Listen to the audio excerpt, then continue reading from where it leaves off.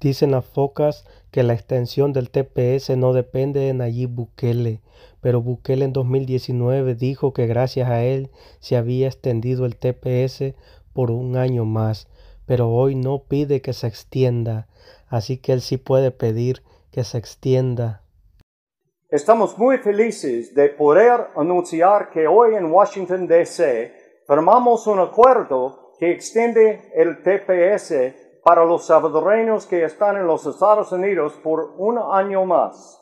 Esto es un reconocimiento de los logros y buen trabajo del gobierno del presidente Nayib Bukele. Con esto, varios tomadores de decisión tendrán tiempo adicional para buscar una solución permanente. Seguiremos trabajando lado a lado para construir un El Salvador más próspero y mejor para todos. Sí, señor. Gracias.